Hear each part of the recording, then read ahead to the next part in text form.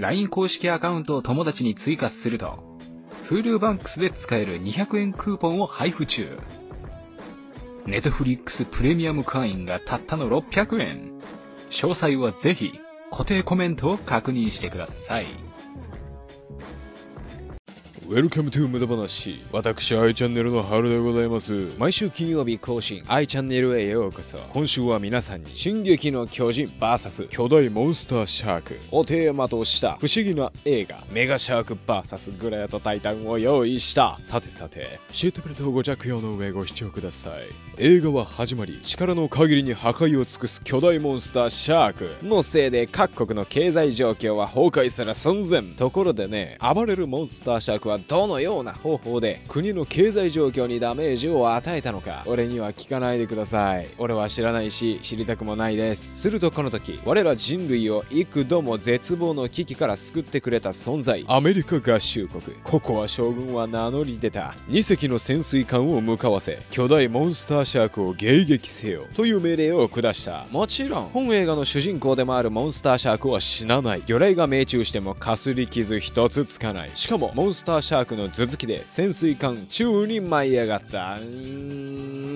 まあいいか。もう一隻の潜水艦は自爆の方法でモンスターシャークと共倒れを狙ったが結局ダメだった。そりゃそうだよね。魚雷でも効かない相手だからさ、自爆もダメに決まってんだろ。今度はありったけの戦艦をかき集めたアメリカン海軍。モンスターシャークと真っ向勝負を挑んだが、パワー負けする海軍。壊滅の危機。こんなのありえるかい？とココア将軍もびっくり。魚雷だ。魚雷を打ち込め。の命令に対し、モンスターシャークは尻尾をはいはいはいはいはいと振り、魚雷を水面下から水面上へ打ち上げしかも勢い余って飛行機を落とした。モンスターシャークもはや何でもあり。その一方暇を持て余しているテロリストたち。ロシアのとある兵器工場へ潜入しお金になるものはないかと探索をしている時誤って旧ソ連秘密兵器進撃の巨人を起動させてしまった。無論目覚めた巨人は暴れ出し誰の命令にも従わない。ちょっとさこいつらを戦わせようぜ。とひらめいたアメリカ軍。よってモンスターシャークののテリトリーに進撃の巨人をおびき寄せるという作戦を実行。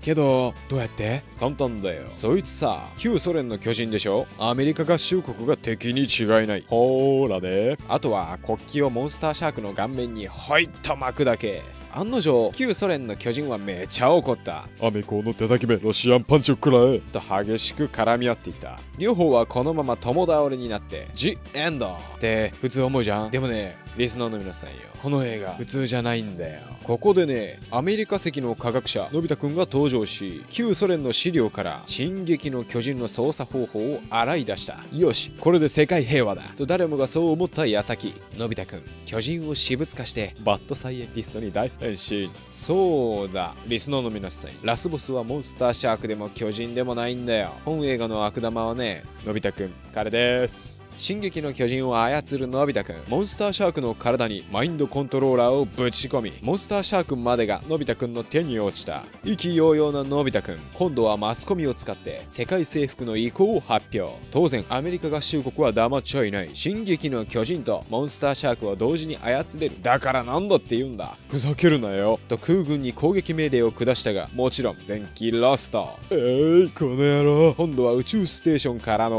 レーザービーム。アタックこんなのをねまともに食らったらさ死ぬことはなくても23日は有給休暇取って病院行くだろ？と俺は思うんだよな。がしかし本映画の脚本家に不可能はない。がっつりとモンスターシャークの尻尾を掴んでよ。必殺ジャイアントスイングを繰り出し宇宙ステーションに壊滅的なダメージを与えてやった。なんて爽快な映画だ。想像力の塊じゃねえか。宇宙から帰ってきたモンスターシャーク。振動のせいで体に刺さっているマインドコントローラーがね、ポロッと落ちた。まあ、本当だったらこれだけじゃ済まないんだけどね、再び巨人に飛びつくモンスターシャーク。そのせいで受信機は故障し、進撃の巨人も、のび太くんのコントローラーから解放。よって、本映画の悪玉、バッドサイエンティストののび太くん、3D から 2D になっちゃった。映画の最後、進撃の巨人は、モンスターシャークと共に、海の深くへ沈みゆき、大爆発。ジ・エンド。リスナーの皆さんよ映画モンスターシャーク VS グレートタイタンはいかがなものでしたでしょうか？ぜひコメント欄にて感想を教えてください。我ら i チャンネルは毎週金曜日更新。面白かったらぜひチャンネル登録をお願いします。また来週お会いしましょう。さようなら。i チャンネルの春でした。